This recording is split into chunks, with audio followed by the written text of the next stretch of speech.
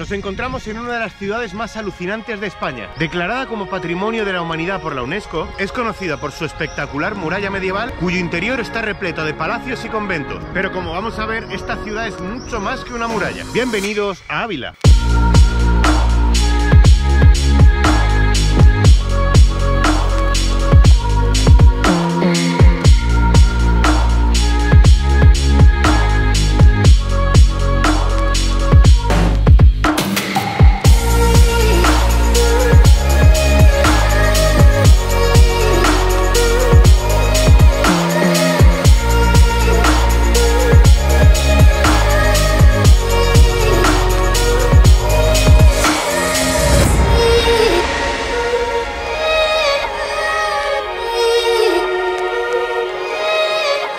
Es una ciudad del interior de España que pertenece a la comunidad de Castilla y León y que históricamente ha sido una de las ciudades más importantes de Castilla por su ubicación. Tiene dos etapas históricas muy marcadas, la época medieval más pura, que es cuando se extiende la muralla y las once iglesias románicas que apenas han tenido modificaciones, y la segunda es el momento de máximo esplendor de la ciudad en el siglo XVI, cuando los nobles construyen todos sus palacios en el interior de la muralla. En la actualidad quedan 31 palacios de los aproximadamente 50 que llegó a haber, y lo curioso es que todos estos palacios se construyeron en un periodo muy corto, solo en 40 años, lo que te hace ver el dinero que se manejaba en ese momento. Sus principales monumentos están en el interior de la muralla, pero curiosamente, gran parte del patrimonio histórico que tiene se encuentra extramuros. Y para empezar la visita, lo que vamos a hacer es subirnos a la muralla, que es la mejor manera de ver un poco la ciudad desde lo alto y así entenderla bien. ¡Empezamos!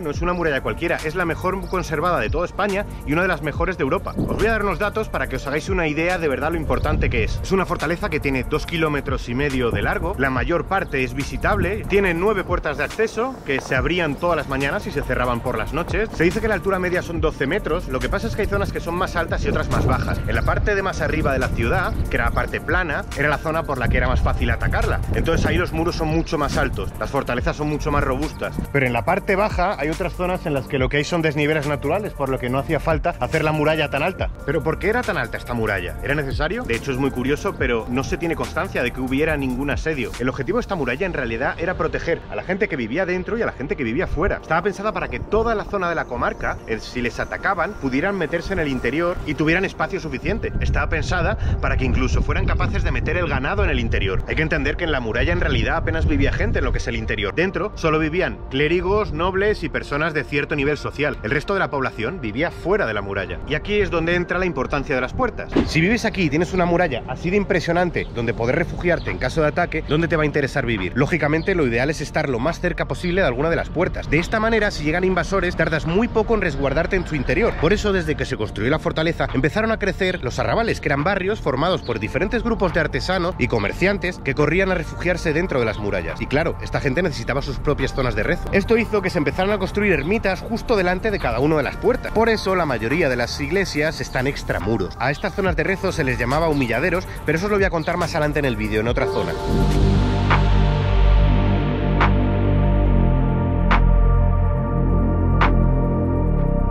Probablemente la figura más relevante e influyente de la historia de Ávila ha sido y es Santa Teresa de Jesús. Aquí se encuentra la iglesia convento que lleva su nombre. Se empezó a construir 70 años después de que ella muriese en el lugar exacto donde estaba su casa. De hecho se puede visitar porque ahí todavía quedan restos de la casa original de la que se conserva solo la habitación donde ella nace y el jardín donde jugaba de pequeña. Fue un personaje históricamente muy interesante, en vida llegó a considerarse la santa incluso por sus visiones. La desenterraron y enterraron cuatro veces y cada vez que lo hacían le quitaban trozos de hueso del esqueleto como reliquia y por eso hay un montón de restos esparcidos por el mundo. Por cierto, justo al lado de la iglesia está este palacio que dicen que ahí arriba en la parte alta hay un fantasma. No sé si será verdad o no, pero ahí lo dejo. Y lo que vamos a hacer es seguir por esta calle porque por aquí es todo zona de palacios.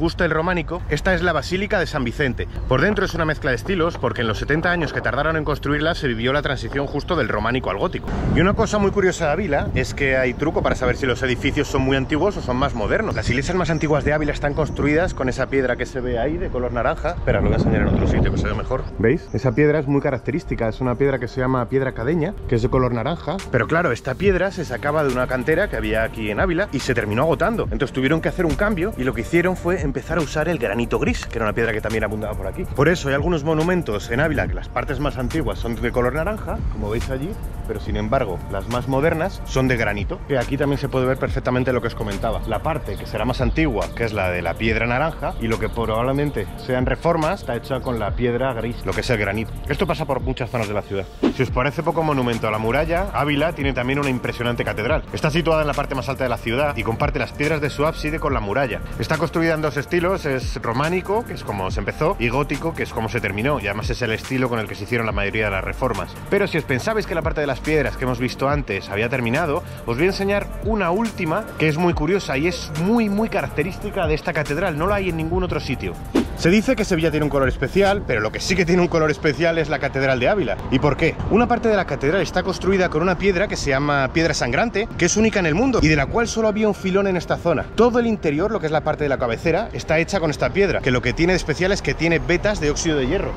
Eso hace que le dé un tono muy particular a la catedral. Esa zona es donde está la entrada la muralla y el ábside. Y si venís por esta calle, aquí os podéis encontrar dos sitios que se han reconvertido. Un antiguo palacio y una antigua ermita, que ahora las dos son museo.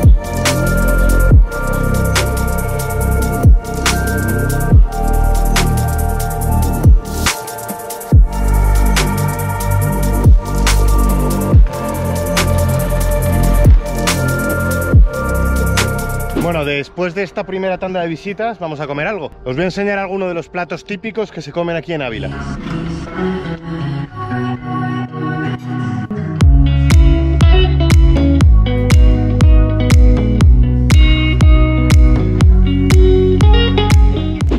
De las visitas imprescindibles en el interior de la muralla es la plaza del ayuntamiento, o como aquí se la conoce, la plaza del mercado chico. Esta plaza, además de la espectacular fachada de la plaza mayor y sus calles porticadas, tiene una curiosidad histórica. Y es que aquí se hizo el primer grabado taurino del que se tiene constancia en España. Se hizo en 1534 en esta plaza. Aquí hasta aquí vino Carlos V y para homenajearle se le agasajó con una corrida de toros, pero claro, una corrida de toros de la época, no de las de ahora. Ponían un cerco en toda la parte exterior, soltaban muchos toros y se metían muchas personas a torearlos, por lo que era una escabechina. De hecho, se dice a modo de broma que ahí Carlos V vio morir a más gente que en sus batallas. A partir de ahí dijo que no le volvieran a hacer nunca más ningún tipo de festejo de este estilo. Ha sido desde siempre una plaza donde ha habido muchos mercados, de hecho los viernes aún sigue habiendo uno tradicional, y es además la plaza donde una vez al año se hace el mercado medieval. Nos estamos centrando sobre todo en lo que es la parte interior de la muralla, pero extramuros hay un sitio que sí que quiero resaltar, y es este en el que nos encontramos, el monasterio de Santo Tomás, que también fue el palacio de nada más y nada menos que los reyes católicos. Vamos a verlo por dentro porque es uno de los grandes secretos de Ávila.